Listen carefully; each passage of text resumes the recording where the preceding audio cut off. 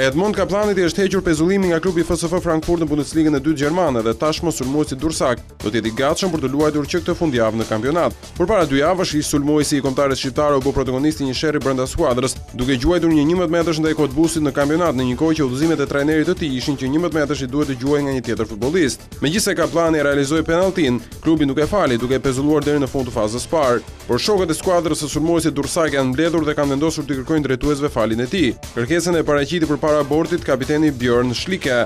Bordi drejtues i skuadrës e pranoi këtë kërkesë, gjë e cila u shpjegua nga drejtori sportiv Uwe Stöver. Tashmë Kapllani do të bashkohet me skuadrën për sfidën kundër Karlsruhe këtë fundjavë. Emri i tij u lidh me një largim të mundshëm drejt Arminia Bielefeld, duke qenë se punët nuk po shkonin mirë me Frankfurtin, por vendimi i fundit mund t'i përmbysë gjërat.